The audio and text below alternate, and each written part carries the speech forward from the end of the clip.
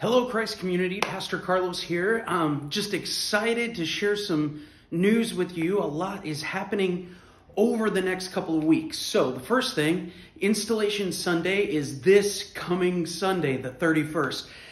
Oh my goodness, I'm excited that's finally here. And then one week from today, I officially start on November 1st. Also, I'm excited to announce to you that we are bringing on a new staff member. Her name is Jessica Briggs. She's coming from McMinnville, Oregon to be our family pastor.